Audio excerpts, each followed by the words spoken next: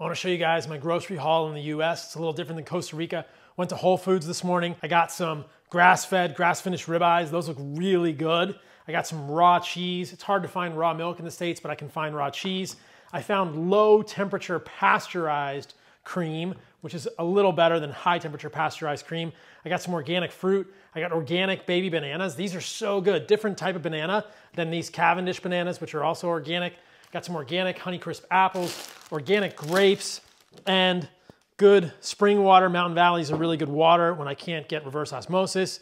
And I got some dried fruit, some low microplastic sea salt, and I brought butter from Costa Rica. That's how I eat when I'm in the US. Different than Costa Rica, but still Obviously, you can get tons of high quality food here. A little harder to get organs. That's why I brought the Heart & Soil as well.